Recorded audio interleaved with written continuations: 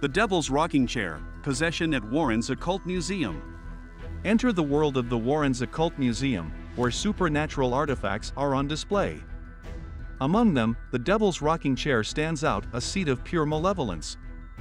Those who've dared sit in it are said to have experienced possession, torment, and even death. Journey with us as we delve into the chilling stories and hair raising encounters associated with this cursed object, exploring the thin veil between our world and the realm of darkness.